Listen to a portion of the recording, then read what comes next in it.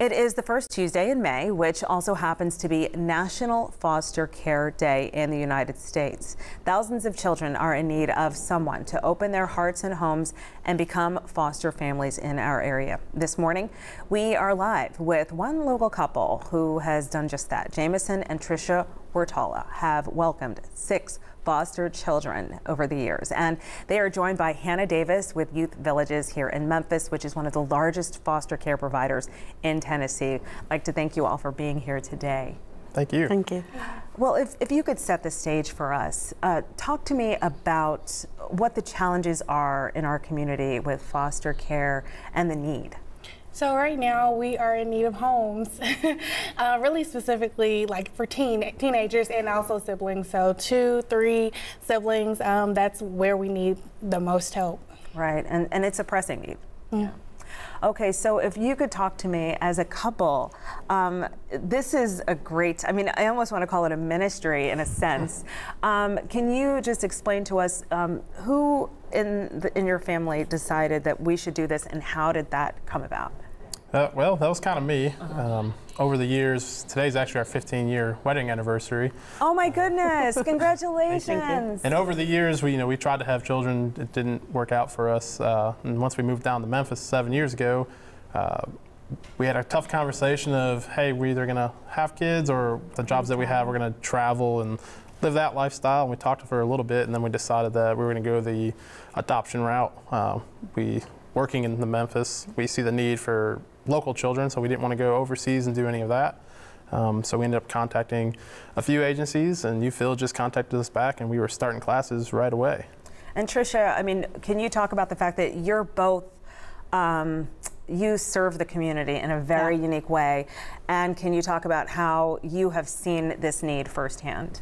So we see it I'd say like almost every day. So we come home, we talk about how we see the kids and your jobs. Yeah, so I'm an emergency room nurse. He's a City of Memphis fire paramedic. So we see it constantly.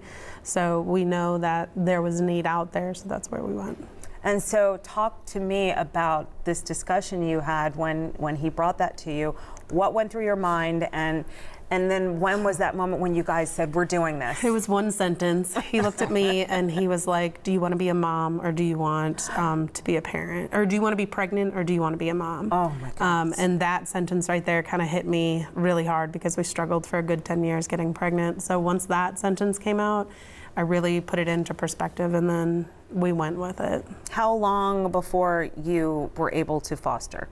Uh, about a year. Okay, so yeah. that's that's about with the, the, classes, and then once we got our first phone call for our first sibling set, we, it was about a year. Okay, Hannah, talk to me about who can be a foster parent and the process.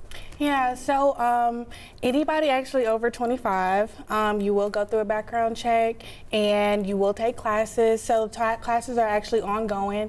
Um, and then you'll have a youth villages specialist once uh, you get a child, whether that's either being reunified with their family or a relative or actually finding their forever home like the Wirtalas. So um, you're never left alone. You have somebody to come in with youth villages. You're constantly getting uh, training and even after hours, you have somebody that's there for support. Yeah. Wow. Okay. And so, if you could explain how Youth Villages has been part of your journey um, all this time. So they're pretty much family. Yeah. Um, we treat them like family. Savannah, LaCamry, um, and Hannah, pretty much they pick up their phone 24-7. We have kids with um, specific special needs um, that we're calling midnight sometimes, and Hannah doesn't know how to shut off her phone. So Aww. we call, um, and she picks up, and just very supportive in our house constantly. They'll drop everything. She'll drop everything that she's doing just to meet us and get them where they need to be or what they need.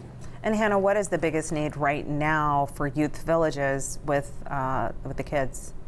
Um, like I said, just homes. Um, we are really needing those homes and people who are willing to, you know, take the time and the patience to just love and, you know, meet the kids where they are. You know, we don't know when they're coming in, what they may need, and as we build that relationship with the foster families and ourselves, you know, we, we assess what they need and then we try to come in and build that support for them.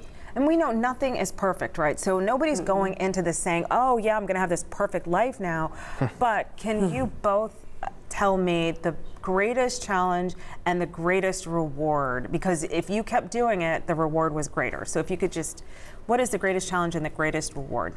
the greatest challenge is taking that first step and committing to those, you know, month and a half so of classes on the weekends and you know going through all that training, having people come in your house the first time. You know that's normally your private spot. Um, you know, then getting kids that come to you with trauma and having to work through that. Like we went from one night to having a party at our house. The next night we had two kids dropped off at our door. Yeah. Like overnight, so we don't get that nine month period to kind of ease into it. You know, but getting to the road of with our two kids that are adopted now, like and knowing that they're with us forever and that we can continue loving them and taking care of them is probably the greatest reward that we have out of it. Youth Villages kind of gave us the family that we couldn't have. So it's a matter of like we went, like you said, we went from parents on a Monday night after shift right out of the gate. So we're learning as we go.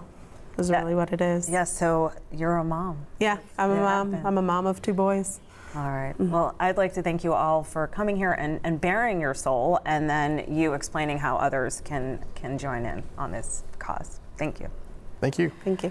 All right. There is much. Oh, happy anniversary. Yes. Okay. There's much.